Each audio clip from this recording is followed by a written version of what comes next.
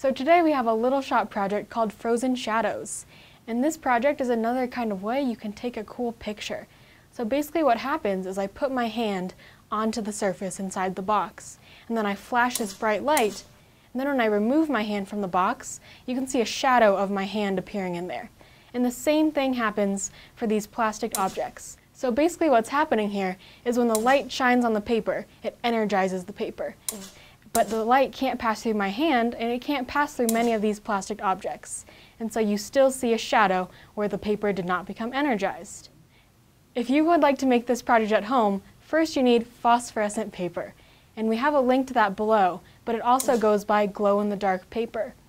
So then you also need a light source. And this can be maybe a light bulb you have in your house or a flashlight. For our experiment, we actually used a camera flash. And this camera flash produces light that's at a very high energy. And high energy light tends to be at the violet end of the spectrum. So that includes ultraviolet, violet, and sometimes even blue light.